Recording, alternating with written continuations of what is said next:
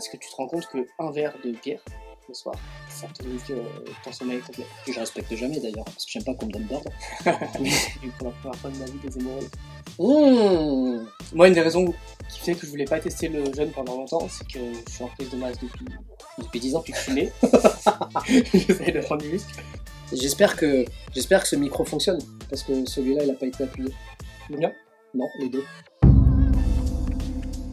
Yo, salut la team, bienvenue dans un nouveau podcast en RSLNT où on va discuter de, je sais pas, Surprise je sais pas du tout.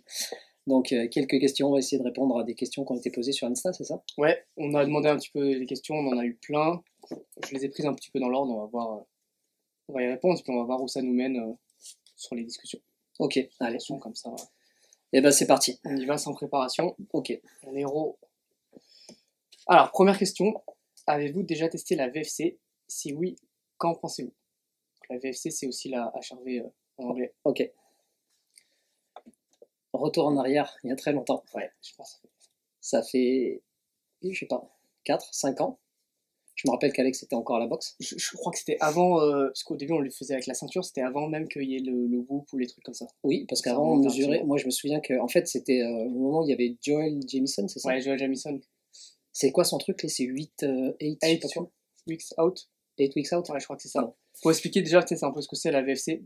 Ah c'est oui? la, c'est évident pour nous, mais c'est la variabilité qu'il y a entre les, entre les battements du cœur et ça permet de mesurer en gros l'activité du, du système nerveux. Savoir si on est un peu plus en sympathique, parasympathique. Donc ça, à revenir aux podcasts qu'on a fait, euh, bah, je crois que c'était avec Alex notamment sur le Ouais, système nerveux, euh, qu'on avait travaillé avec euh, StrongFit, avec Julien Pinot. et Julien Pinot. ouais. Et la théorie voudrait que euh, la mesure de la VFC, notamment le matin, permette de, de voir un petit peu l'état de forme qu'on a, euh, si on est un peu plus en parasympathique, sympathique, etc. Donc parasympathique, on est cool, etc. Et sympathique, on est en On fight, est dans le stress. on est dans le stress. Euh, et bah du coup, on avait testé ça, si mes souvenirs sont bons, pendant pas loin de 7-8 mois, voire même peut-être un petit peu plus. Je, je crois que avec l'appli, moi j'avais testé un an. Ah oui, c'est ça, parce qu'il y avait une application spécifique aussi. euh, C'était Elite HRV. Voilà, c'est ça. Je sais pas si tu te souviens, on mettait la ceinture cardio. C'était Ouais. avant les montres et tout. On mettait la ceinture cardio ici Tous les matins. tous les matins pendant deux minutes Ouais. au réveil. Et ça nous mettait. euh, il y avait une courbe comme ça. Ça nous disait si on était plus côté parasympathique, sympathique. Et l'appli nous suggérait euh, de se reposer ou, ou ou pas de s'entraîner, ou etc. Sachant que on faisait avec la, la- la- comment ça s'appelle? Le cardio-fréquence-mètre parce qu'à l'époque c'est ce qui était euh, c'est ce qu'il y avait de plus précis. Ouais, Les montres étaient loin d'être euh, capables de mesurer en fait la HRV, voire même je sais même pas si elles le faisaient à l'époque parce que je sais que maintenant Garmin, mais euh, Apple, etc. et le Whoop notamment le font. Mais à l'époque, ça ne le faisait pas du tout, parce que je- on parle là de, je pense, il y a bien 5-6 ans peut-être, je sais plus, ou 4 Ouais, ans, je sais plus. plus. Enfin bon, peu importe. Mais en tout cas, oui, c'est quelque chose qu'on a testé pendant, un pendant plus ou moins longtemps.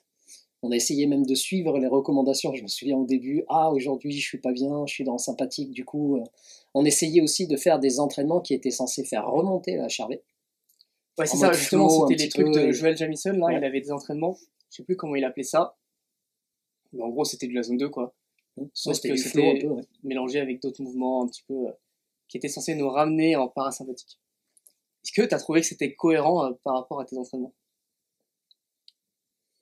Euh, Est-ce que c'était cohérent après mes entraînements? Alors, de maintenant, du recul que j'en ai aujourd'hui, et de ce que fait l'Apple Watch, notamment en, en termes de résultats, et j'ai eu la Garmin avant, donc euh, les chiffres sont pas les mêmes en fait sur les deux montres, mais les, Les tendances sont les les mêmes. tendances sont, sont les mêmes. En fait, euh, je sais pas pourquoi sur l'Apple Watch ça monte jusqu'à 200 et quelques, alors que sur la Garmin j'étais à 100, quand j'étais au top j'étais à 100 et quelques.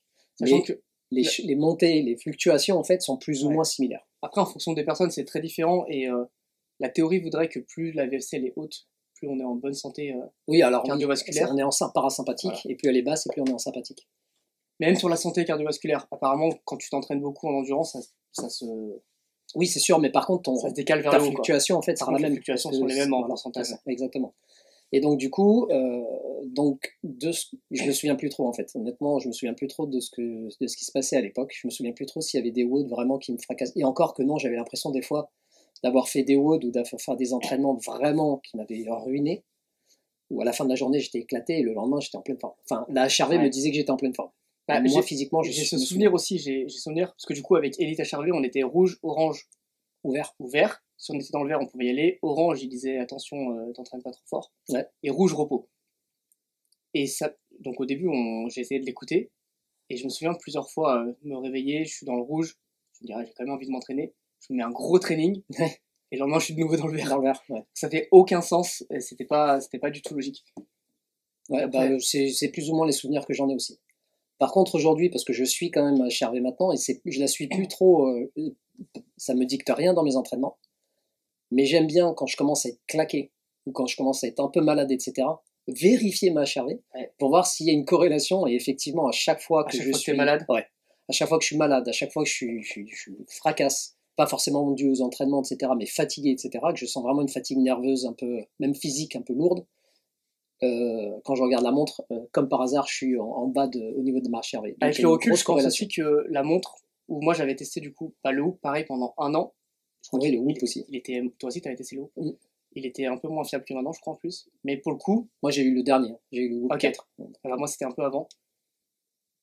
J'avais plus de corrélation entre ce que me disait la montre que euh, avec euh, l'appli. Et je pense tout simplement parce que la HRV sur la montre, tu l'as toute la nuit en fait. Le hoop, c'était pareil. Ouais. Alors que là, fallait se réveiller le matin, fallait le faire, et en fait, euh, il suffisait- des fois, je le faisais deux fois de suite parce que euh, ça me donnait des résultats différents. Ah oui, c'est vrai. Donc je pense que c'était un peu biaisé par rapport à ça. Ah, je me souviens même pas de ça.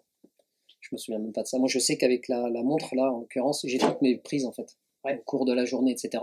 Ça prend Par exemple. à intervalles réguliers la journée et pareil la nuit? Ouais, je sais, je sais pas exactement si c'est euh, si c'est intervalle régulier, mais par contre, je sais que quand je vais dans euh, les applications euh, de santé euh, ou euh, l'application Garmin et que je regarde un petit peu fréquence, euh, comment est-ce qu'ils le disent? Ouais, variabilité fréquence cardiaque. Là, par exemple, je suis à 119, ce qui est plus ou moins pas mal, etc. Et si je regarde les horaires, ça fluctue, donc ils me prennent, ils me prennent plus ou moins sur ma journée, ils me prennent euh, bon la nuit. Il prend à midi, il prend à midi 30, il prend. Enfin bon, il y a plusieurs horaires euh, Ouais. qu'il prend, mais par exemple, tu vois, hier, si je dis pas de bêtises, non, ça c'était samedi. Bon, sur ma semaine, par exemple, je suis plus ou moins. Ouais, ça fait une. Voilà, j'ai une Si tu courbe dézoomes, c'est assez lisse. quoi. voilà. Et je sais que le moment où j'étais le plus bas, euh, j'étais bien claqué. Voilà. Mais quand je suis comme ça, ça passe bien. Par contre, euh, si je sens, tu vois, par exemple, là, il y a clairement une descente, là, bah, c'est là où j'étais malade euh, Ouais. la semaine dernière, oui, Ok. deux semaines. Ouais, c'est intéressant. Moi, c'est vrai que même à l'époque de, de la ceinture là, avec Elite HRV, je le prenais plus en compte pour l'entraînement. Par contre, je trouvais que le sommeil ou euh, ce que tu pouvais faire le soir, ça, ça influençait beaucoup. Notamment l'alcool. Ça, je sais Ça, pas, je ne bois pas. Première fois où- première fois où j'étais dans le rouge avec les valeurs les pires, c'était pour Noël, enfin le lendemain de Noël du coup. J'avais quand même pris ma, je m'étais réveillé tard, j'avais quand même pris ma mesure, j'étais catastrophique. Du coup, j'avais fait des tests régulièrement. Est-ce que si tu bois euh, trois verres, euh, ça c'était rare, mais est-ce que ça joue? Ah, c'est pour la, la science, hein. C'est pour la science, exactement. et, et maintenant, je bois plus du tout, ou très rarement, parce que tu te rends compte que un verre de bière le soir, ça te nique euh, ton sommeil complet. Et, et ça voyait au début, tu voyais sur la HRV, et après, quand j'avais le Whoop, je me rendais compte sur les cycles de sommeil, en fait, à quel point ça, ça impacte. Du coup, c'est intéressant pour ça, je trouve. Maintenant, j'ai plus d'outils, je dors même plus avec la montre. Euh, et le Whoop, au bout d'un moment, pareil, c'est... Mais le Whoop, c'était ce qu'il y avait de bien aussi, parce qu'il mesurait l'alcool, le sexe. En fait, tu pouvais euh, dire, les- le, le matin, quand tu te réveilles, t'as ta note, T'avais tout un des Et questionnaires. t'as une liste, et tu, peux le, tu peux la personnaliser, t'es pas obligé de tout dire, mais tu pouvais dire si t'as bu de l'alcool, euh, si t'as mangé des glucides ou non le soir, si t'as si t'as eu du sexe, euh, si t'as arrêté les écrans suffisamment tôt, etc. Et ça te donnait en fait une, une tendance. Ouais, une à la fin, tendance tous les mois, Ouais, t'as c'est une sorte de PDF, Ouais. et après, sur un, tu peux regarder sur 6 mois euh, quelles sont les tendances. Donc ça, c'est cool pour ça. En réalité, après 6 mois, t'es habitué à tes valeurs et tu regardes Oui, plus donc du coup, tu regardes plus, tu sais plus ou moins en fait comment ça fonctionne. Mais par contre, euh, que ce soit clair, on, on travaille ni avec Garmin, ni avec euh, Whoop, euh, encore moins avec Apple. Dommage, Ouais. d'ailleurs. D'ailleurs, on devrait biper tous les, tous les noms. Ouais, on devrait bibler tous les noms, mais on, et on sponsorisé. conseille pas forcément d'acheter euh, ni ces appareils. Comme on vient de le dire, au bout d'un certain temps, c'est marrant pendant un mois, deux mois, trois mois, Ouais, et puis au bout d'un certain temps, Moi, je trouve que-. Le Whoop, alors app- apparemment, il y en a beaucoup qui parlent de la Oura Ring en ce moment, qui serait encore plus fiable que le, le Whoop. C'est la bague que tu Ouais, mais c'est le truc du sommeil, ça, non? Bah, ça fait tout, à peu près comme le Whoop, hein, je crois. Ah bon? Ouais. Il y a aussi un, Et à la une HRV fréquence cardiaque. Ouais, ouais, il y a la fréquence cardiaque. En tout cas, ça peut être cool juste pour, euh, pour se motiver à prendre certaines habitudes. Oui, ça c'est sûr. Déjà voir ce que les certaines tendances peuvent avoir comme effet sur votre euh, sur votre santé, sur votre physique, sur vos entraînements, etc. Je crois que savoir. Whoop qui disent que ça, en moyenne, les utilisateurs ils dorment une heure plus parce que quand tu vois, Oui, parce que ça devient un jeu en fait. ouais, puis tu vois en fait le temps, tu sais le temps, la- enfin l'heure à laquelle tu te lèves, tu sais combien de temps tu passes dans ton lit, mais tu sais jamais combien de temps tu dors. Ouais. Il y a des gens qui passent 9 heures dans le lit mais qui dorment que 7 heures. Quoi. Et puis tu as les recommandations. Je me souviens qu'il me disait euh, c'est l'heure d'aller se coucher, ou etc. L'Apple Watch me dit la même chose, c'est l'heure Ouais. d'aller se coucher. Je respecte jamais d'ailleurs, parce que j'aime pas qu'on me donne d'ordre. mais, mais, mais effectivement, euh, c'est euh, voilà, c'est un peu comme un jeu. On essaye de de- d'avoir les meilleurs scores. À partir Ouais, du moment où tu mets des scores, tu vas aller chercher les scores. ouais. Voilà, c'est Et puis tu te rends compte de l'impact de certaines choses.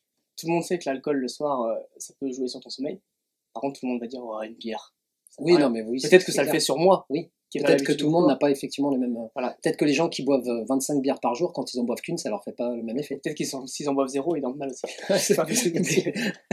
c'est possible. Et du coup, je trouve que c'est intéressant pour avoir des données sur soi. Ça peut t'aider un petit peu à optimiser les Bon, autres c'est une bonne expérience à faire. Mais en soi, euh, ça confirme des trucs qu'on sait déjà tous. Quoi. Oui. Et puis, euh, le, le premier, Pas la première le chose, je c'est pense qu'il faudrait Pas faire, c'est bien. Le sexe, c'est bien. le sexe, c'est top. Mais euh, le, le première chose, euh, la première chose, je pense qu'il faut faire, c'est avant de, de, de, de rely, comment tu dis rely, de, de- Je ce que je veux dire. sais, de, d'utiliser des, des outils extérieurs en fait, de, de, de, de- merde. D'externaliser les. Ouais, comment on dit rely en français Compter sur, voilà. Au lieu de compter, au lieu de compter sur des appareils extérieurs pour nous dicter ce qu'on devrait faire ou comment on se sent, parce qu'à la fin, ça peut avoir un effet complètement négatif Ouais, aussi. ça peut avoir un effet nocebo même. Ouais, complètement. Euh, c'est de, de peut-être d'utiliser ça comme expérience et d'essayer d'en tirer des conclusions par rapport à son ressenti. D'essayer de voir effectivement est-ce qu'il y a un ressenti. Moi, par exemple, je sais que quand je suis malade, ma HRV, et, mais je vérifie ma HRV Après, elle peut servir. après et non pas ah ma HRV est basse, je vais être malade. Parce que c'est pas comme ça que ça Ah fonctionne. Et parce que ça peut remonter tout d'un coup euh, très rapidement le lendemain, comme on avait déjà fait l'expérience auparavant. Et du coup, euh, je pense que c'est intéressant de de- d'essayer justement de, de, de retrouver toutes ces sensations, mais soi-même. C'est-à-dire d'avoir un- une perception en fait de comment on se sent, est-ce que ce qu'on a fait le, le, le soir d'avant, euh, quand on se met une grosse boîte, euh, On sait que- ils savent très bien que le lendemain ça va, ils vont être éclatés mais que effectivement, euh, si on a fait certaines choses ou qu'on s'est couché un petit peu plus tard, etc., est-ce qu'on se sent moins fatigué ou pas forcément? C'est comme partout, c'est comme le truc du sommeil, il faut dormir 8 heures, etc. Bah, les études scientifiques montrent qu'en fait, non.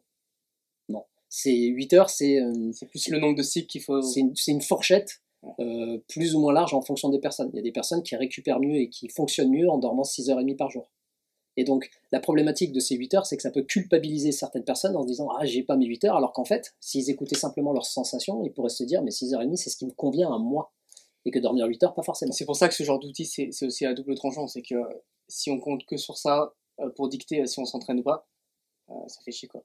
Complètement. c'est pas forcément ultra fiable, donc euh, faut arriver à se réinterroger de nous-mêmes le matin, comment tu te sens, et savoir si tu peux pousser, t'entraîner comme tu ferais d'habitude, ou si ça vaut le coup de. Clairement. Alors après, un autre facteur, il faut pas non plus trop s'écouter. Parce que des fois, on dit Ah, je suis un petit peu fatigué aujourd'hui, je vais rien faire. ou- Ouais, mais je trouve, moi, tu vois, le Whoop par exemple, au début, ça me faisait ça un peu. Ouais, alors ça c'est clair, parce que notamment en plus, La- tu as une la- donnée qui vient voilà. corroborer ce que tu en train de penser, pas ah, je ah bah, c'est mieux pour moi si je vais pas m'entraîner. Exactement, Alors, en fait, c'était pas le cas. Du coup, ce que je faisais au bout de 2-3 mois, le matin, je me disais, ok, aujourd'hui je pense que je suis bien, aujourd'hui je pense que je suis pas bien, et je vérifiais euh, avec la montre. Ah, Ça, c'est une bonne manière. C'est Euh, d'abord tu d'abord tu enregistres ce que toi tu ressens et ensuite tu vérifies par l'intermédiaire de ta montre si effectivement ton ressenti est corroboré par la Ça, montre. si tu sais que avant de regarder ta montre, ou ton portable du coup pour les analyses du groupe, Ouais. tu sais que tu as envie de t'entraîner et que tu es bien, si l'appli te dit de pas t'entraîner, bah, faut le faire quand même quoi. Ok. Ouais, ouais, je suis complètement d'accord avec ça. Donc du coup, ouais, le HRV, on a fait l'expérience et euh, bah, c'est d'après moi moins important que ce que Joel Jamieson disait à l'époque parce qu'à l'époque il disait qu'il basait tous ses entraînements et absolument toutes ses sur pense- des études scientifiques. D'après lui, bah, ouais, après En fait, le problème, je pense aussi, c'est la fiabilité des, des outils et des prises de mesure. ça c'est sûr. Mais en l'occurrence, je pense que je pense que maintenant, euh, avec les, les- les outils qu'on a, notamment les Apple Watch, euh, les, Garmin, etc., qui sont beaucoup plus précises que ce qui a été fait euh, il y a quelques années. D'ailleurs, je ferai peut-être une vidéo sur l'Apple Watch parce que j'ai été extrêmement surpris par la fiabilité de- du capteur cardiaque. Ouais. Ah ouais. Plus que Garmin? Bah, Similaire ouais. Étonnamment, avant, j'étais, avant avec la- l'Apple Watch, j'étais obligé d'utiliser un strap extérieur parce que dès qu'on bougeait en CrossFit, je parle surtout pour le CrossFit, pour la course à pied, le vélo, ça bouge pas énormément, il y a pas forcément de, ça marche bien. Mais là, je suis étonné de voir que sur les WOD, quand je fais les WOD, même quand je la remonte, etc., que j'ai les maniques, euh, Ah ouais, même si tu l'as, si elle est un peu plus haute sur l'avant-bras, ça prend la même. ben, je- ça monte à, C'est pas mal ça. Et donc c'est rare, d'habitude ça monte à 175 ou 170 ou etc. Et puis boum, après ça redescend à 80 parce que ça a le perdu coup, la truc. Moi, Garmin, euh, dès que je fais un WOD où je serre quelque chose, c'est plus fiable du tout. C'est quoi? Mais après c'est quel modèle que tu as aussi? Quel- De quelle année? Je sais plus. Parce que moi j'ai eu le dernier modèle de Garmin et le dernier modèle. Ok. Et là honnêtement c'est Et étonnant. dans les deux cas, c'était pas mal quoi. Étonnant. Ok, Après, la c'est- j'ai l'impression qu'il y en a qui l'utilisent encore beaucoup euh, et qui basent leur entraînement sur ça, mais plus dans les sports d'endurance. Est-ce que ça influence plus quand tu fais des heures euh, Ah, je pense que quand tu sais tu tapes un, un entraînement qui dure deux heures où tu vas euh, tu vas être dedans au niveau cardio, Ouais. il y aura probablement beaucoup plus Peut-être d'impact s'entraîne que pas assez en endurance pour avoir les bénéfices de, c'est possible. Tu fais pas un marathon tous les jours. jours. Quoi. Ouais, tu fais pas un marathon tous les jours. On a fait le tour, je pense, sur cette question. Ouais. Allez. Euh, on avait une question, celle-là, elle revient tout le temps. Je crois qu'on a fait deux podcasts dessus déjà. Mhm. On peut essayer de simplifier euh, Ouais. la version rapide. Comment gérer sa nutrition autour de, de la performance et même pour la santé? C'est très simple. Pour moi, il n'y a rien de plus simple. Vas-y. Maintenant, mon, mon résumé de, de beaucoup de temps de. de, euh, ouais. Pour moi, c'est simple. Euh, 2 grammes de protéines par kilo de poids de corps. Des glucides, des glucides, des lipides. Et euh, ensuite, euh, je complémente avec euh, Avec les Des glucides glucides. en fonction de Voilà. du sport que tu fais. plus ou moins, sachant que je vais, depuis que j'avais fait, alors j'ai fait le zone diet. Le zone diet, pour ceux qui savent pas, c'est une répartition des, euh, des macros euh, en pourcentage. Euh, c'est c'est quoi C'est 30, 40 30, glucides, 40 30 prot, euh, 30 lipides. Voilà, avec euh, des nombres de blocs qu'on va calculer en fonction des objectifs qu'on a. Et pour ceux qui s'entraînent, c'était après ils augmentaient simplement les blocs de glucides. Ouais, tu dois avoir les bloc blocs de glucides et euh, protéines. Donc, un bloc de prot c'est 7 grammes, un bloc de glucides c'est 9 grammes. Ouais. C'est l'équilibre entre prot et glucides selon eux. Et après, tu as les lipides que tu ça. sur lesquels tu peux jouer. euh. Et après, tu savais que tu devais manger 4 blocs ou c'était 16 blocs. Moi, quand j'ai commencé, c'était 16 et après, je suis monté à 20 blocs parce que 16, c'était un peu limite. Ouais. Et depuis, euh, ça, c'était il y a très longtemps. hein. J'ai fait ça il y a 6-7 ans. euh, C'était le début du crossfit. hein. ouais, ouais. Ouais, c'était. Ah oui, c'est vrai. Donc, c'était Moi, j'ai ça, testé la zone diet avant de, avant de commencer le crossfit. Ouais, donc c'était le, le truc à l'époque. Déjà, dans les, 2014. dans les conseils de CrossFit, ils parlaient de ça. Ils parlaient de zone diet, ils parlaient aussi du paléo, mais ils parlaient beaucoup du zone diet. Dans le level 1, c'était le zone diet. Et euh, je sais même pas s'ils parlaient du paléo. J'ai un j'ai un doute là-dessus. Probablement. Si, si dans, les, dans les 100 mots, euh, c'est pas Oui, dans les mots. 100 mots, c'est ça. Et puis après, je suis passé à l'intermittent fasting. Et donc, du coup, bah, une période, de, période alimentaire euh, restreinte. où Ce on qui est compatible avec n'importe quel ce autre qui est compatible avec n'importe quel autre. euh, Zone diet et Exactement, complètement. Par contre, il faut avoir la capacité, en fonction de, de- du nombre d'heures qu'on- auxquelles on s'autorise à manger, de pouvoir euh, manger autant de calories que ce qu'on aurait fait euh, si c'était sur une journée complète. Ouais. Ceux qui comptent leurs calories, y, il y en a beaucoup qui, qui pensent que le jeûne intermittent c'est parfait pour, euh, pour perdre du poids, mais juste qu'ils sautent un repas sans compenser. Donc Oui, forcément, donc forcément, il y a, une- y a- il y a moins de calories, donc. Ouais, exactement. Tu manges moins, donc forcément. Alors que c'est le but de l'intermittent fasting, c'est pas forcément ça, c'est de manger la même quantité. Enfin, c'est pas forcément ça. Ça peut être euh, le but de perdre du poids. ouais, ça peut être une aide pour diminuer ses calories aussi. Voilà, mais euh, exactement, complètement. Mais c'est euh, c'est déjà la, la- la manière dont on le met en place en général, c'est de regrouper tout ce qu'on mangeait dans la journée sur une période de, on va dire, de, en moyenne, c'est 8 heures. Donc un 16-8, ce qui est le plus courant, pour bénéficier déjà des, des, des, des aspects positifs de l'intermittent fasting. Et donc moi, une fois que j'ai mes 140 grammes de protéines, une fois que j'ai mes glucides, et mes glucides, je fais pas trop attention à mes glucides, je mange de l'huile de, enfin, je mange de l'huile d'olive, euh, des avocats, enfin, je mange pas mal de choses. Les euh, lipides, tu veux dire des lipides, pardon, des lipides. Et ensuite, euh, bah, en glucides, c'est un peu plus difficile parce que j'ai pas un gros appétit, donc euh, ça, je cale rapidement.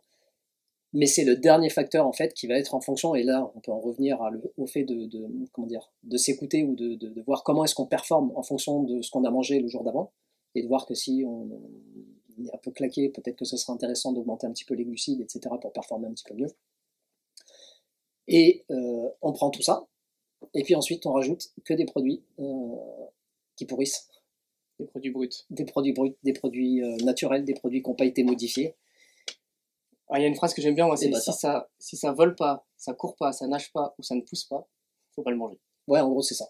Oh. Voilà. Donc tout ce qui est euh, tout ce qui a une date de péremption de 6 mois ou etc. Ben on mange pas. Ça, c'est voilà, c'est la base, c'est le meilleur conseil que je pourrais donner. Euh, en termes de métrique, il y a juste les, les, les protéines véritablement à, à, mesurer, enfin, si on peut dire mesurer, etc. Et c'est relativement facile parce que je pense que c'est même plus facile de mesurer les protéines que de mesurer plein d'autres produits. On sait que 100 grammes de poulet, 100 Oui. grammes de viande, etc. Ça fait 20 tant. grammes de prot. et- Voilà, que les œufs, ça fait tant, éventuellement un shaker, pour ceux qui prennent des shakers, ça fait tant de protéines. Et à partir de là, après, manger jusqu'à satiété, pour ceux qui, euh, qui mangent comme moi, par exemple, ça me va très bien. Peut-être que d'autres qui ont vraiment des gros appétits, bah, faut peut-être se limiter un petit peu, mais euh, Sachant que les, les, les glucides après, ça peut être vraiment plus ou moins en fonction des gens. Quoi. oui. Les deux seuls macronutriments qui sont nécessaires pour vivre, c'est protéines lipides. Oui. C'est possible de vivre sans glucides. C'est bah, euh, la keto, la, la- la- la- la diète keto euh, marche très bien pour beaucoup de personnes. Moi, j'ai essayé il y a pas longtemps ça. Ah, et alors? Ça va pas du tout réussi. Ça t'a pas réussi? J'ai j'ai essayé euh, keto. Ouais. Et j'ai fini par essayer euh, carnivore même, Ok. que viande. Euh, je sais pas si je le dis sur le podcast ça. J'ai eu pour la première fois de ma vie des hémorroïdes. Mmh. En plus, j'avais essayé de me convaincre, hein, j'avais regardé tout ce que je pouvais, des gens qui t'expliquent que les fibres, tu peux te passer de fibres en fait, c'est pas forcément aussi important que ça. Ça va pas du tout réussi. Bah déjà, il y a... alors après ça c'est un autre truc qui peut être intéressant. Après il y a une, comment elle s'appelle la nénette là? Qui, fait, qui parle de l'intermittent fasting et de la manière de limiter, parce que un des facteurs qui est super important dans la nutrition en fait, au-delà de limiter le nombre de glucides, ce qu'on mange en termes de glucides, etc., c'est de limiter en fait les pics insuliniques. Ah, c'est euh, la française, la... Non, non, non, non, Ah, l'anglaise, la, la brune, là, celle qui parle de l'intermittent fasting ou celle qui parle des pics d'insuline? Les- celle qui parle des deux en fait. Parce qu'il y en a. Qui dit tu sais, qu'il faut que le jeûne intermittent, euh, 8 heures, 16 heures, tu rentres en autophagie à partir de 17 heures, euh, où tu as 24 heures de, de jeûne. Comment Hmm, Je sais plus comment ça s'appelle. Parce qu'il y, a une- il y a une française qui a écrit un livre aussi, tu m'avais parlé de son, de son podcast là, qui, qui donne 10 astuces pour euh, limiter les pics d'insuline et tu te rends compte qu'en fait, euh, au-delà de ce que tu manges, c'est euh, c'est ce que tu vas faire après ton repas qui peut Alors, jouer ce que tu vas faire après ton repas, ce que tu vas faire pendant ton repas, l'ordre dans lequel tu vas manger tes aliments, Ouais. joue énormément. C'est euh, Mindy euh, Pels. Ouais, elle est française, Non. Ah ouais, La française, c'est celle qui parle des, de la glycémie justement. Ok, bah ouais, bah Mindy Pels, là si vous voulez faire des recherches par rapport au jeûne intermittent et notamment comment limiter en fait les pics insuliniques, ça se dit hein, insulinique ou pas? Ouais, ouais. pics insuliniques. Et euh, alors ça, pour vérifier si on fait des pics insuliniques, bah, il y a des patchs qu'on peut se coller à la peau pour savoir comment on réagit à certaines nourritures et tout le monde ne réagit pas de la même manière. C'est pour ça que c'est très difficile de donner des conseils euh, Et c'est pour ça aussi sur un podcast ou même euh, une personne tant qu'on il y a des gens qui vont adorer passer en cétogène. Oui. J'en ai parlé avec récemment des gens qui sont passés en cétogène ou carnivore, ils sont ils revivent quoi. Oui, mais alors moi, pour moi, l'explication n'est pas forcément parce qu'ils sont passés en carnivore. C'est juste qu'ils ont éliminé tous les ils autres produits à côté. trucs, ouais. Et ouais. Et donc à partir du moment où tu réduis tous les autres, tu peux potentiellement être intolérant ou avoir des difficultés à digérer ou etc. des aliments qui peuvent te créer des allergies que tu, tu ne- n'es pas forcément au courant. Tu enlèves ce produit, boum, tout marche. Ouais, ça peut être un bon reset en fait. Tu, tu fais ça, tu, tu gardes un seul aliment et après tu, Et après, il y a les monodiètes aussi. tu réinclus progressivement. Ouais. tu manges qu'un certain aliment pendant un certain temps et donc après tu peux réintroduire progressivement les choses. Mais enfin voilà, pour pas trop partir dans la nutrition parce que ça c'est un sujet, on a déjà En fait un podcast entier dessus. Et puis surtout la nutrition, c'est quelque chose qui peut paraître complexe. Je pense qu'on a fait le tour, on a testé plein Ouais, de trucs différents. Stop. Au final, faut quand même résumer euh, des aliments bruts. euh, de- Enfin, c'est ce que tu as dit quoi, 2 grammes de prot, glucides, lipides en fonction de nos besoins et c'est tout. Voilà. Et puis si euh, et puis restreint et puis le petit déj euh, c'est ça sert à rien en fait. C'est pas obligatoire. Non, c'est non seulement c'est pas obligatoire mais ça sert strictement à rien. Ou alors le repas du soir si vous mangez un gros petit déj. Ouais, après, tu vois, moi, le jeûne intermittent, parce que j'ai j'ai eu longtemps des gros a priori sur ça quand même. J'ai déjà testé, j'avais pas trop aimé. Et j'ai retesté là depuis la naissance de Chloé parce que c'était plus simple, ça faisait gagner du temps. Ouais. Et là, j'ai trouvé le truc qui me convient. Et moi, je suis mieux en mangeant pas le soir. Et en mangeant par contre le matin en milieu de matinée. Ouais, en milieu de matinée, mais c'est pas le petit déj au réveil. Non, pas Parce que déjà nos ancêtres à aucun moment ils se levaient de leur grotte et puis ils prenaient leur petit déj. hein. Et Il tu vois, fallait d'abord qu'ils aillent chercher les choses. on parlait du Berman tout à l'heure euh, en off là. Euh, je crois qu'il je crois qu'il fait le, il pratique le jeûne intermittent aussi. Oui. Et euh, lui, son conseil, c'est Tout le monde, Ouais, tous les, tout le monde. il y en a beaucoup. Et son conseil, c'est au moins pas manger les deux heures, les deux premières heures euh, au réveil. C'est logique.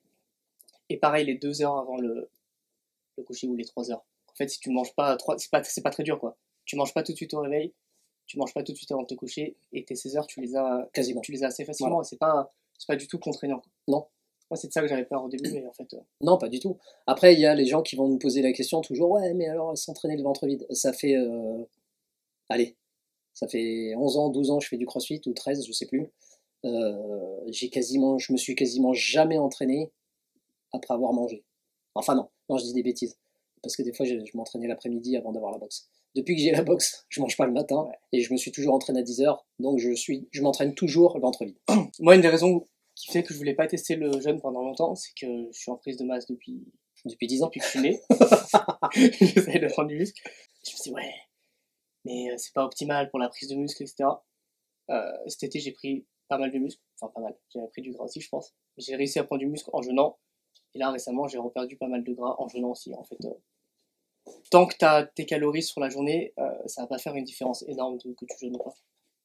Ouais. Les, les gens ont peur de Alors, des- de choses, mais ça, c'est la fenêtre anabolique aussi.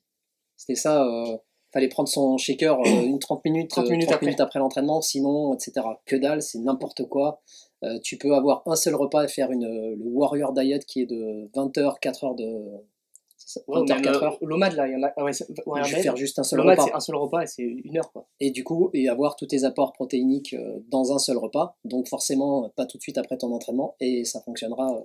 Parce que la fenêtre anabolique, elle était basée sur le fait que C'est 24 heures ou après plus. un entraînement, tu as une synthèse protéique qui augmente et les muscles, ils absorbent un peu plus.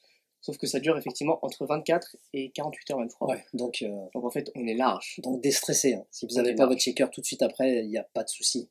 Vous n'allez pas perdre. euh, Vous allez Par pas contre, rentrer atrophie. Pour l'entraînement à jeun, moi par rapport à toi, je, je pense qu'il y a un temps d'adaptation aussi pour que le corps soit capable. Enfin, moi, j'étais, j'ai commencé le jeûne, j'étais très très très haut en glucides. Là, j'ai un peu rééquilibré maintenant. Et du coup, quand je m'entraînais à jeun, surtout si je faisais du cardio un peu intense, euh, j'avais du mal. Parce que mon corps avait pas du tout l'habitude de, de puiser dans les gras, il savait pas faire. Et c'est pour ça que c'est le genre de truc, et je pense le cétogène, si ça se trouve, si j'avais continué, ça aurait pu me convenir.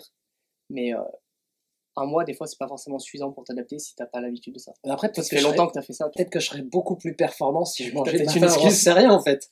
J'en sais rien. J'ai juste toujours fonctionné comme ça. J'ai pas l'impression d'être plus performant après avoir mangé. Même les entraînements que je fais l'après-midi, maintenant, quand je m'entraîne vers 14h30 ou etc., je mange pas avant. Donc je mange à partir de 17h30. Ouais, même, tu fais deux entraînements? Ouais, je fais maintenant je fais les, le- Et tu- les jambes pour le genou, etc. Ouais. Et je mange après. En fait, je me fais un shaker, un shaker magique avec euh, collagène, euh, tellement de choses dedans que je me fais un shaker en fait. Ouais. Je me fais un shaker et après je mange à la maison. Ouais, moi, tu vois, je j'en suis pas encore à, à ton niveau euh, sur du cardio intensité. Je, je me sens mieux avec des glucides avant. Mais en même temps, je dis ça, mais ça. Alors, Ouais, faudrait que je te contexte, euh, je ne fais pas euh, en ce moment. En ce moment, je fais très peu de cardio. Mm. Je fais un WOD le mardi et un WOD probablement le samedi. Donc il y a deux WOD dans la semaine. Et euh, sinon, c'est euh, sinon c'est euh, bah, la réhabilitation du genou avec la méthode ATG et c'est l'entraînement qu'on fait 90 degrés push-up et one arm chin-up. Donc c'est pas très intense en termes de cardio. Je suis pas ruiné. J'ai Ouais, du, un gros pump. Il y a du gros pump, etc. Donc on sent que les muscles ont travaillé, mais je suis pas ruiné. Beaucoup moins que quand je me mets un WOD ou je me mets dedans. Quoi. Et donc, mais bon, peu importe. J'ai jamais eu besoin de prendre un petit déj. Mais, peut-être que si je suivais la méthode de Matt Fraser et prendre des sneakers pendant que je faisais ma zone 2, ça marcherait peut-être mieux. Je sais pas. Après, toujours pareil, il y a des, des principes de base, il faut tester sur soi et voir ce qui Oui, c'est ça. Après, il y a des gens, à par quel exemple- point est-ce qu'on parle d'optimisation et à quel point Ouais. on parle de, de, de- Mais je pense qu'il y a des gens, pour le coup, euh, pas du tout manger le matin. Ça pourrait limite être problématique. C'est des cas extrêmes, mais quelqu'un qui est, qui est ultra stressé au quotidien, etc., qui se réveille avec le cortisol déjà très haut, peut-être que manger un bout, ça l'aidera et qu'il ferait mieux de pas manger le soir. par exemple. peut-être. Je pense qu'il y a des exemples des fois. Là, je, par rapport au cortisol, je suis pas sûr. Euh, je sais plus, je crois que c'est Mindy Pels qui en parlait de ça. Mais bon, je sais plus exactement. Donc, euh, mais si vous voulez quelqu'un d'intéressant là-dessus sur le jeûne intermittent et comment éviter les pics euh, d'insuline, eh ben Mindy Pels sur. ah, par contre, c'est que en anglais, je crois. Ouais, c'est. C'est que en anglais. Bah, de toute manière, si vous voulez des choses intéressantes sur YouTube, euh, c'est que en anglais, sauf ce podcast, bien sûr. Parce que parce qu'on reprend ce que disent les gens en anglais. Ouais. Exactement. Exactement. ça en fait, faudrait qu'on fasse des On fait des traductions, traductions. pourtant on se fait chier. Euh, je, je serais bien chaud de parler un petit peu de, de l'insuline par contre. Le coup, moi, c'est un sujet qui m'intéresse en ce moment parce que euh, je considère que j'ai un terrain génétique de merde. Tout le monde est diabétique dans ma famille. Et euh, j'ai mangé son prénom du coup. L'autre fille dont on a parlé tout à l'heure, Mindy Pels l'autre, celle qui est française pour le Ouais. coup, qui a écrit un livre en français, et c'est toi qui m'avais parlé de son podcast. Euh, Jessie Inchospé. Ah, mais- ah oui, mais elle a fait un podcast en anglais. Oui, oui. C'est une canadienne. Elle a fait un ouais, podcast ok, sur euh. The Diary of CEO, là. Ah oui, d'accord, ok, ok. Ouais, je me disais une française, mais c'était pas en français le podcast, c'était en Non, anglais et c'est une française française. d'origine. Et Ouais, elle a, je crois que son livre est en français. Enfin, elle a écrit Ouais, elle a dû l'écrire en plusieurs langues. donc elle a dû écrire en voilà. Ok. Parce que, pour le coup, il y a beaucoup, au sujet de la nutrition, il y a beaucoup de gens qui, qui pensent qu'il faut pas manger de glucides, par exemple, à cause des pics insuliniques, etc. Mhm. Alors, ce qui est une bonne méthode. Ok, déjà déterminons glucides, parce que quand on parle de glucides, Ouais. un Euh, sneakers, euh, c'est voilà. pas le même glucide que, Je parle des, des glucides index glycémique que des pâtes et c'est des pas le même des pâtes, que etc. des haricots verts. Les légumes, il y a peu de chances d'avoir un, un, un gros pic d'insuline après. Mhm. Et du coup, euh, je l'ai pas écouté son podcast en fait. Donc, euh, si tu peux me faire un résumé. Oh, je m'en souviens plus, moi, je dans son podcast, je parce que je crois qu'il y, a- en fait. je crois qu'il y a 10, euh, 10 méthodes en gros qu'elle explique euh, pour euh, éviter l'insuline. euh, Alors, ok, donc ça veut Il y a deux, trois trucs qui peuvent être intéressants à. C'est pas Mindy Pels qui en parle, donc euh, du coup c'est elle alors. Parce que dans, ses- dans, son, dans son podcast, euh, si je dis pas de bêtises, elle explique déjà que euh, les premières choses à faire, c'est euh, il y a le boire du apple ciné- euh, Vinaigre de cidre. vinaigre de cidre de pomme. C'est ça, non? Ouais, vinaigre, vinaigre de cidre, c'est. Ok. ça. Euh, De boire ça avant de prendre n'importe quel euh, aliment euh, glucidique. De manger euh, d'abord les. Donc ça veut dire que tu sais que tu as un repas, euh, tu vas manger, je sais pas, une grosse pizza, prendre ça avant, ça peut t'aider. Exactement, ça peut faire diminuer en fait l'impact et la montée de l'insuline juste après. Le, le comment s'appelle? Manger des fibres, beaucoup de fibres en fait. Et elle explique que les fibres viennent mettre des parois en fait sur l'estomac. Les fibres, plutôt, ah ouais, c'est ça. Ok. C'est manger les fibres en début de repas, ça, avant, début les, de repas. avant les glucides. Voilà, avant de manger tes pâtes ou etc. qui vont mettre des parois en fait qui vont empêcher en fait le sucre de pénétrer trop, trop rapidement dans le sang. Et il n'y a pas les protes aussi avant les. Les protes aussi, les protes aussi. Euh, le fait de manger ces glucides pendant les repas et pas entre les repas. Le fait de bouger, euh, Donc, donc attends, juste si je résume, du coup, un repas idéal, en fait, c'est. C'est c'est on diet, c'est comme ce que T'as tes cru- crudité, t'as ta prot, Exactement, et t'as tes féculents, Exactement. limite après la prot, un peu si Exactement. possible, ou le dessert après la Exactement. viande, quoi. exactement. Tu- Si tu manges de cette manière-là, tu, tu auras un pic insulinique normal, mais euh, ce sera pas comme si tu mangeais un sneakers en plein Ouais, milieu d'après-midi. même le gras, en fait, c'est quand tu mélanges les glucides avec du gras, t'as vraiment un impact. C'est pour ça que manger, euh, si tu manges un plat de pâtes euh, tout seul, euh, ça aura un impact bien Mm. plus important que si tu le fais avec euh, ta viande hachée et Exactement. ta bolognaise. Et si tu commences en plus par ta viande hachée. Ensuite, il y avait le fait aussi de marcher euh, tout de suite derrière ou d'activer certains muscles qui vont pomper, euh, qui vont pomper les glucoses Ouais. qu'il y a dans le sang. Ça, euh, j'ai re- revu un truc de Stanley. Tu sais, il parle tout le temps de marcher 10 Ouais, lui, minutes à son- chaque repas. son truc, à chaque fois. Et il parle d'une étude à un moment qui montre que marcher 10 minutes après son repas, c'est, ça diminue l'insuline deux fois plus que je sais plus quel médicament euh, qui existe que tu prends. Oui. Tu te rends compte? Mais c'est énorme. Marcher 10 minutes, c'est plus efficace que prendre un médicament qui a été conçu pour réduire cette insuline. Et comme dit, euh, je sais pas si c'est la blonde ou si c'est Mindy Pels, si euh, vous n'avez pas la possibilité de manger parce que vous êtes au resto, etc., faire des euh, élévations, des de, élévations de- mollets. de mollets, euh, simplement pour activer, pour qu'il y ait un muscle en fait qui s'active et qui vienne recruter, qui vienne manger en fait tout ce, ce glucose qu'il y a dans le sang. Ouais, parce que la marche c'est efficace pour deux choses. C'est efficace parce que le, la FC elle augmente un peu, mais surtout parce que les mollets ils, ils travaillent quoi. On n'a pas dit ce que c'était l'insuline. On n'a pas dit à quoi, pourquoi il y avait de- l'hormone d'insuline qui se mettait en. Ah ouais, C'est quand on a trop de sang dans le, quand trop de sucre trop de dans le dans sang le sang, ouais. et que du coup euh, cette hormone vient enlever le sucre. Ouais, le, pan- le pancréas euh, déclenche cette hormone pour, euh, pour réduire le taux. Exactement. Et des fois, c'est mal contrôlé, donc c'est pour ça qu'après un repas, euh, par exemple un gros repas de pâtes, on peut avoir un- une petite baisse d'énergie. C'est parce que l'insuline, elle a trop fait son travail. En général, c'est pas, c'est c'est quasiment tout le temps. Les crashs que les gens ont l'après-midi, Ouais. d'où le, Le- fait de l'intermittent fasting Ouais. déjà, c'est un autre truc. Un de mes facteurs, moi, c'est qu'une fois que j'ai arrêté de manger à midi, mais l'après-midi, j'avais la pep, j'avais le peps. Ouais, mais après, si si tu manges bien, normalement, t'as t'as pas ça. Si je Ça mangeais, tu si, manges. si je mangeais des protes, que des protes, ou etc., j'aurais pas eu cette, euh, Ouais. ce- cet impact. Ce que j'ai modifié aussi derrière. C'est pour ça que quand je prends ma, mon shaker, après, j'ai j'ai pas d'impact. Mais si vous mangez un sandwich euh, ou euh, un plat de pâtes ou euh, Ouais, du riz, le etc., petit, le petit sandwich ou le petit kebab du midi, là. en général, on a envie de fermer un petit peu les yeux pendant 5-10 minutes, une demi-heure ou 45 minutes après. Ben, ça, c'est le crash. Le crash. C'est après le pic insulinique. Et ça, c'est les, effets chiants sur le court terme. Mais sur le long terme, en fait, le pancréas, il utilise tellement, enfin, il fait tellement d'efforts pour déclencher de l'insuline qu'au bout d'un moment, il n'y arrive plus. C'est comme ça qu'on devient diabétique. Donc ça, c'est quand même. Ça fait, ça fait euh, une longue conversation sur le- la nutrition en fait. là. Ouais, finalement, on a fait un podcast sur ça encore. J'espère que, j'espère que ce micro fonctionne parce que celui-là il n'a pas été appuyé. Le mien? Non, les deux. Ah, On parle dans un micro qui fonctionne pas en fait. Putain, on n'a pas l'air malin. Voilà, donc on est en train de parler alors que le micro n'a pas fonctionné. Euh, je pense qu'on a fait le tour sur la nutrition. Ouais. Et au final, nutrition, euh, c'est un sujet qui m'intéresse parce que parce que t'as l'impression que tu peux tout le temps apprendre d'autres choses, mais en fait, Ça, ça les tourne, conseils ça- pratiques, ça, ça- revient tout le temps. ça tourne en rond et au final, euh, Manger brut toujours plus ou moins la même chose. voilà. C'est toujours plus ou moins la même chose. Ce que disent dans, dans, et c'est pour ça que toutes les, les diètes qu'il y a actuellement, qui sont ultra restrictives, euh, Ouais. je parle pas des pour maigrir, hein, je parle même des, même Ouais, enfin, vegan, carnivore, euh, par exemple. le, le keto diet, le, le, le, carnivore diet. Bon, alors les végans, on n'en parle pas, c'est complètement barré. eux. Euh, non, non, vous n'êtes pas barrés, mais bon. Voilà. Euh, toutes ces choses-là, ultra. Non, c'est pas comme ça que c'est pas comme ça qu'il faut manger. Il faut arrêter de se, se, se, se torturer l'esprit en fait et de, de et de de- d'essayer de, trouver des méthodologies pour manger. Alors si vous, si on est végan, là attention parce que si on est végan par conviction envers la planète ou etc. Ok, ça c'est une chose. Mais je parle pour la, Ouais, faut- je parle d'alimentation. moi, je suis de assez convaincu que tu peux, tu peux très bien t'en sortir avec quasiment toutes les diètes, y compris végétarien. Végétarien, c'est beaucoup plus large déjà. Et par contre, euh, vegan, ça devient plus compliqué sans les connaissances pour euh, te supplémenter, pour faire ce qu'il faut. euh.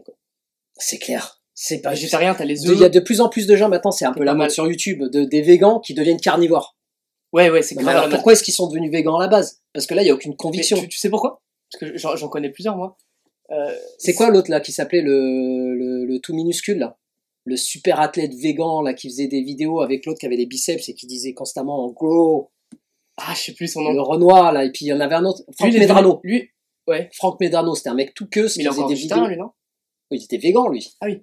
Mais lui, il a lancé, une- il a Ouais, commencé ouais. à lancer Parce cette que mode. là, là, les carnivores, la plupart des gens qui sont carnivores, c'est des anciens véganes ou au moins végétariens. Et je pense que c'est parce que c'est des gens qui, ont, Elle est où, elle est où qui sont déjà un peu extrêmes de Non base. mais elle est où la conviction justement Oui, derrière bah là, c'est pas de la conviction. Bah voilà, donc ça, ça voudrait dire qu'ils, ça voudrait dire qu'ils auraient fait ce choix alimentaire pour les performances? Après, il y a des fou, gens qui ont regardé Game Changer qui sont devenus végétariens. Ouais, c'est après, ils ont écouté Jordan Peterson. Faut arrêter de vous laisser influencer par d'autres personnes que nous. Nous, on vous dit que vous pouvez presque tout manger, c'est pas Oui, mal. c'est ça, voilà, exactement. On est, nous, on est, on est inclusif. On est On est, inclusif. on est inclusif. non, mais faut arrêter de suivre. Faut arrêter de toutes les gens, tous les gens qui ont des, des, des, des, alors des méthodes alimentaires ultra restrictives, euh, oubliées. Après, ça peut, pour le coup, parce que On parle encore une fois de performance et de Pour- sport. pour tester le carnivore, c'est un truc vraiment, je, je chiais dessus depuis longtemps, j'avais pas envie de tester ça, donc j'ai essayé de m'auto-convaincre en regardant plein de contenus euh, qui expliquaient les bénéfices. Et j'ai l'impression qu'il y a des gens quand même qui arrivent à en tirer bénéfice, c'est ceux qui ont des maladies auto-immunes ou des trucs. euh, Mais parce que, mais encore une fois, est-ce que c'est véritablement que l'apport de la viande ou c'est le fait qu'ils aient enlevé tous les autres Ah, il a- aliments à côté? Il y en a certains apparemment, Essaye de faire ça pendant un mois avec que des patates et ça se trouve, t'auras les mêmes résultats. Bon, t'auras plus de, de, de mais, mais oui, mais c'est juste que si t'es très limité sur ce que tu peux manger, oui. euh, tu survis avec de la viande plus facilement qu'avec des Mais il y en a plein qui expliquent ça. Il y en a un- j'ai vu un podcast l'autre jour encore avec quelqu'un qui expliquait pourquoi la diète, la diète cétogène marchait euh, super bien. Pourquoi c'était magique, ça marchait bien? C'est parce que quand les gens se rendent compte qu'ils ne peuvent plus manger de glucides dans leur journée, ils enlèvent toutes les merdes. Oui, ça c'est sûr, 100%. De toute Donc à partir du moment où ils ont enlevé toutes les merdes, qu'est-ce qui reste? Mais il reste que des produits sains. façon, globalement, quand tu fais une diète comme ça et que t'enlèves des aliments, c'est, il y a un, Mais mange ce qu'il y a dans ton jardin, ce qui pousse dans ton jardin, il n'y aura aucun un problème. naturopathe là, Julien Messon, je crois qu'il s'appelle. Il est décédé maintenant, mais il expliquait un truc trop bien, je trouvais. Quoi? Il Julien Messon, il est décédé? Attends, je, je, je confonds le nom peut-être. Oh l'autre, il a 20 piges, il a 30 piges quand il non, a non, son bouquin, là. c'est, pas lui alors. C'est celui qui a fait le truc, euh, tu sais, avec le Le pic pistolet avec dans le- votre assiette. Je, je confonds le. Je l'ai, son bouquin, je sais pas où il est. Mais c'est celui qui là, tu... Julien Messon, c'est pas celui qui a fait le livre sur la... Ah, Peut-être que je confonds le. le paléo, la diète paléo? Non, non, pardon. Robert Masson. C'est pas la même chose. Non, la diète paléo, c'est Julien Vénesson. Ah, c'est Vénesson. Julien Messon, non, c'est mon pote de... Oui. qui fait du bodybuilding. bodybuilding. Ouais, d'accord. Ils ont des noms qui se ressemblent trop. Robert Masson, c'est un, Ouais. un des premiers naturopathes. Ouais. Et euh, c'est un, un des premiers naturopathes qui s'est un peu opposé au, au végétarisme, en disant que c'était pas forcément la seule voie. Bref. Et lui, il expliquait un truc très bien. Il disait que n'importe quelle diète, en fait, ça fonctionne parce que imagine quelqu'un qui, qui fait une grande randonnée avec un sac de 10 kg de patates, 10 kg de riz, 10 kg de viande, 10 kg de fromage, 10 kg de fruits. Tu lui enlèves n'importe quel des 10 kg. n'importe quel aliment, il va marcher plus vite. En fait, c'est ça, c'est que la plupart du gens, ils mangent trop, on est surchargé. En fait, peu importe ce que tu, ce que tu supprimes, tu vas aller mieux. Quoi. Mm. C'est, je pense que c'est pour ça que les diètes restrictives, ça fonctionne. Et je pense que c'est pour ça que ça fonctionne sur le court terme et qu'il y a des gens qui sont Parce que végétariens. c'est un espèce de. Encore une fois, on en revient toujours parler, c'est un espèce de raccourci en fait. Ouais, c'est ça. Les gens cherchent une méthodologie beaucoup plus rapide au lieu de se prendre la tête, etc. Et c'est pour ça qu'il y en a qui deviennent véganes sur deux ans, ils se sentent super bien. Puis au bout de deux ans, ils commencent à avoir des nouveaux des problèmes parce qu'il leur manque des choses. Donc ils passent carnivores. Mais c'est clair. Et ça se trouve, dans deux ans, ils vont dire, ah, finalement, ça fait chier, et ils vont revenir au milieu. Mais c'est clair. Mais bah, attention, encore une fois, je parle dans le, dans le monde du sport. Ouais. Parce qu'il y a d'autres raisons d'être végétarien, notamment par conviction, etc. Ouais. Euh, en Inde, par exemple, euh, euh. voilà, spiritualité, il y en a. Ils sont tous pour des raisons après de vibration et, et autres. Euh, on entrera peut-être dans, dans ce sujet-là une autre fois, euh, qui font que ils font des choix alimentaires basés sur des objectifs qu'ils ont. Ouais. Et non pas et non pas euh, pour le sport, faire des choix alimentaires pour avoir des performances, euh, de meilleures performances, et euh, ils t'enlèvent tes protéines. Parce que tu as, un, pas les connaissances et, euh, et les capacités d'aller choper autant, suffisamment de protéines dans ton, dans ton alimentation en, étant, en restant végan. Ouais. Alors qu'en restant végétarien, si tu acceptes les œufs et les fromages, bon, tu peux facilement y arriver. tranquille, ouais. Je pense que je vais teaser pour un prochain podcast, mais il faut qu'on parle de placebo. Parce que j'ai de plus en plus l'impression quand même que plus t'es convaincu par ta diète, plus ça fonctionne aussi. Ok. Bah ok, et ben on va s'arrêter là. Du coup, si vous pensez que ça, si vous- ça vous intéresse d'avoir un podcast sur euh, le placebo, euh, effet placebo, effet nocebo, c'était une chose. On avait dit aussi de faire un podcast sur quoi euh, Sur euh, Il y a une des questions qui est pas mal revenue, c'est comment tenir ses habitudes. ah ouais, ok, bah sur les habitudes. Et ben mettez un commentaire euh, dans la section des commentaires, mettez un pouce bleu et on vous fera un podcast là-dessus. Voilà. Donc on a parlé pendant 45 minutes ou je sais pas combien de temps et ça se trouve le son va être pourri. Si c'est le cas, mea culpa, j'ai pas appuyé sur le bouton enregistrer. Allez, on se voit euh, la plus. Ah, on se voit la que j'ai ma fille derrière. derrière. Elle devrait être à l'école mais elle est malade. Allez, à plus la team. Ciao. Ciao. Bye.